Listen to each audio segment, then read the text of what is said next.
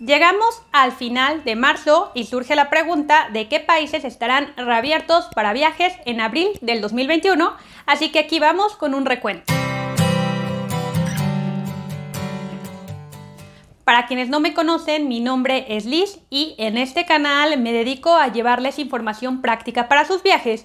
Y por supuesto que hacer un recuento de qué países abren o cierran fronteras mes con mes se ha vuelto algo esencial desde hace un año. Así que aquí vamos con este recuento y si están interesados en tener esta clase de información, así como presupuestos y consejos de viaje, no olviden suscribirse para que tengan todos estos detalles.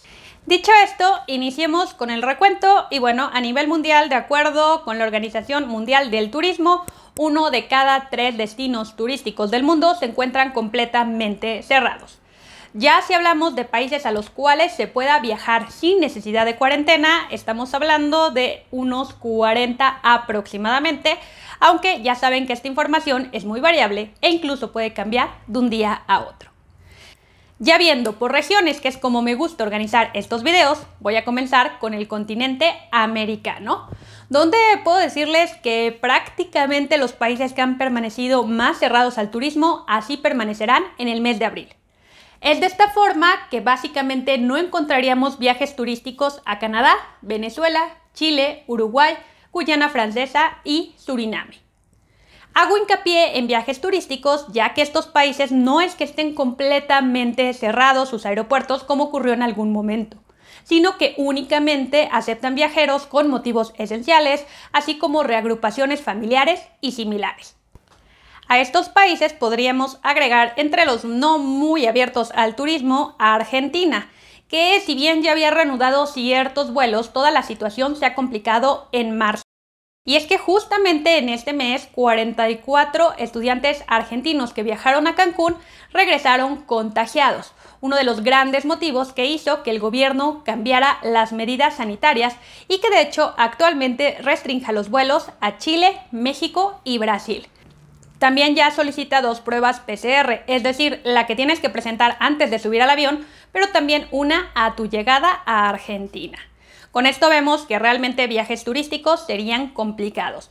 A esto se suma también, por ejemplo, el caso de Panamá, que si bien sí sigue recibiendo viajeros de buena parte del mundo, ya restringió todos los vuelos que vienen desde Sudamérica a partir de encontrar algunos casos de la variante brasileña. Y esta es una constante. Hay varios países que han restringido el ingreso desde Brasil, a pesar de que justamente este país no pone muchas restricciones a los viajeros. Con lo cual, bueno, se podría viajar a Brasil, pero luego la complicación estaría en regresar en muchos casos a tu nación, que sí puede haber impuesto alguna restricción a este país. De hecho, uno de los países que no permite los viajes desde Brasil es justamente Estados Unidos, el siguiente país de esta lista, que el día de ayer les hice un video con todos los detalles de cómo está el tema de turismo, así que no voy a meterme mucho en estos detalles. Sin embargo, deben de saber que se mantiene el estatus que hemos visto desde el 26 de enero.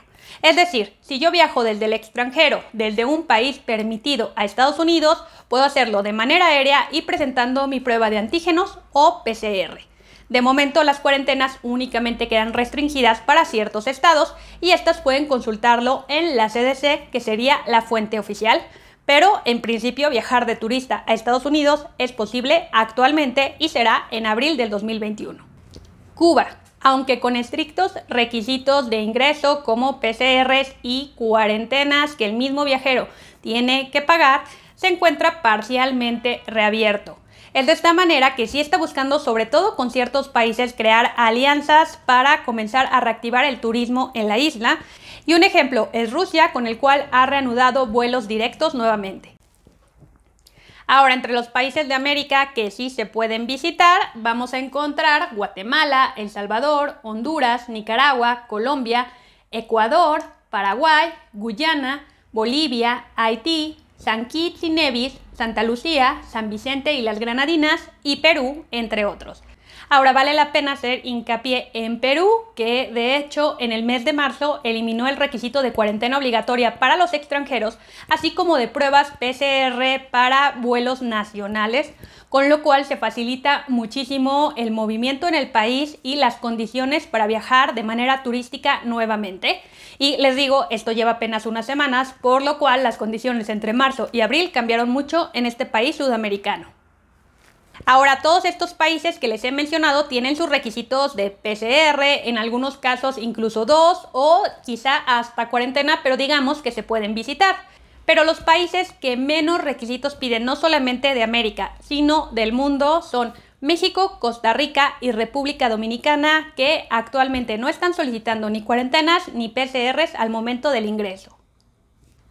Ya con esto tienen un gran panorama de los viajes en abril a América, pero ahora vamos con el continente europeo, donde las condiciones son prácticamente las mismas del mes pasado. Hay una serie de países que llevan reabiertos un buen tiempo sin mayores requisitos a los extranjeros y aquí encontramos Albania, Macedonia del Norte, Bosnia y Herzegovina y Serbia. Países como Turquía también están aceptando de la mayoría de lugares del mundo e incluso, por ejemplo, con países como México ya se reanudó la ruta directa con Turkish Airlines de Ciudad de México Estambul, así que sí son posibilidades para viaje estas naciones que les digo.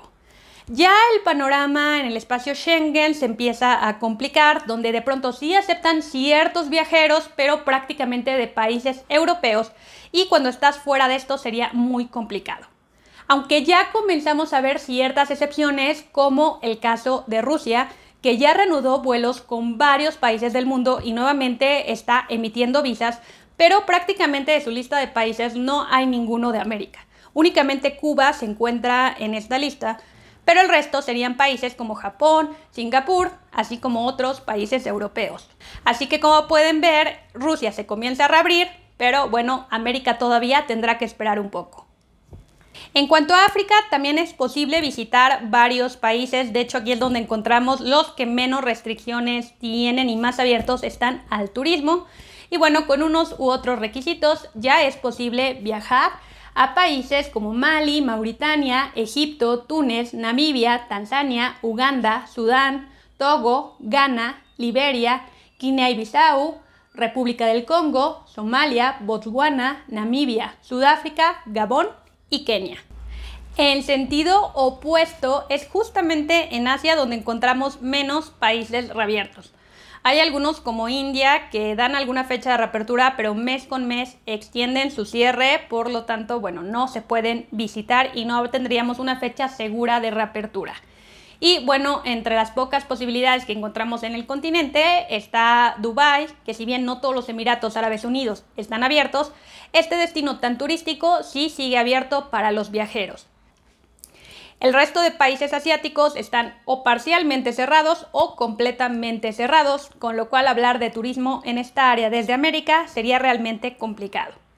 Y finalmente, el mismo caso encontramos en Oceanía, donde Australia y Nueva Zelanda permiten viajes esenciales de tránsito entre ciertos países, pero realmente no están ni cercanos a una reapertura turística a nivel mundial.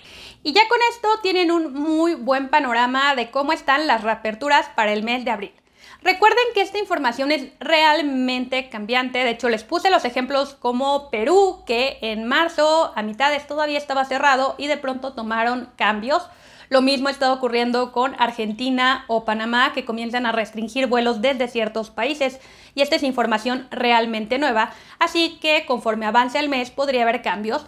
Pero para aquellos que quieren ir teniendo un panorama general, que tienen ya vuelos comprados, que no saben para cuándo podrían llegar a reprogramar o que tienen viajes necesarios, ya tienen un poco más de idea de cómo está funcionando. Sin embargo, antes de comprar cualquier vuelo, siempre recuerden revisar tanto con aerolíneas como con las embajadas para estar seguros de que sí pueden viajar e incluso cuando tienen que hacer viajes de tránsito.